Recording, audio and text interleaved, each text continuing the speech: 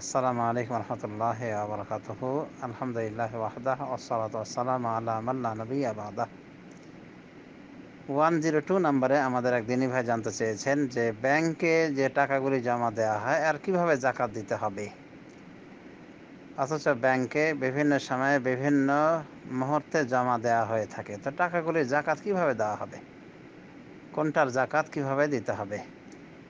এ বিষয়ে আমরা একাধিকবার বলেছি, আবারও বলছি অসুবিধা নেই ইনশাআল্লাহ। ব্যাংকে যে টাকাগুলি জমা রাখা হয়, এটা যদি প্রথম থেকেই নেশাব চলে আসে, নেশাবে উত্তীর্ণ হয়, তাহলে ওই সময় থেকে হিসাব রাখতে হবে যে টাকাটা প্রথমে রাখা হলো, ওটা হিসাবে রেখে দিতে হবে। ওর ওপর এক বছর চন্দ্র মাসের পার হলে শতকরা আড়াই টাকা হারে জাকাত দিতে হবে, বা চল্লিশ ভাগের এক ভাগ বা লাখে আড়াই হাজার একই হিসাব। এরপরে যে টাকাগুলি রাখা হবে, সে টাকাগুলি আলাদাভাবে হিসাব রেখে দিতে হবে।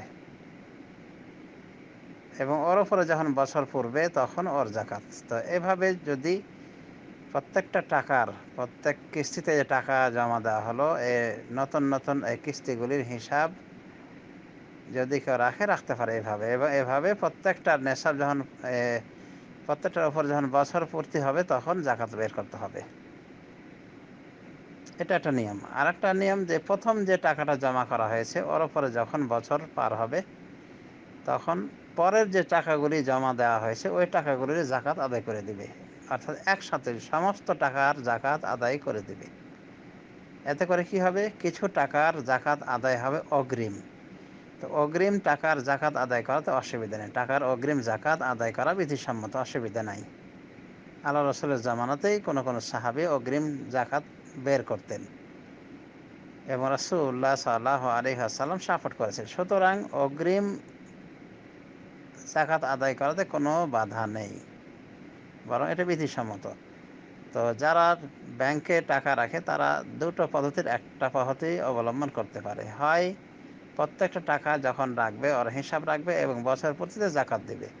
অথবা প্রথম যে টাকাটা রাখা হয়েছে, ওই টাকার ওপর যখনই বছর পূর্বে বাকি পরের কিস্তিতে যে টাকাগুলি রাখা হয়েছে, ওই টাকাগুলির জাকাত বের করে দেবে একসাথে।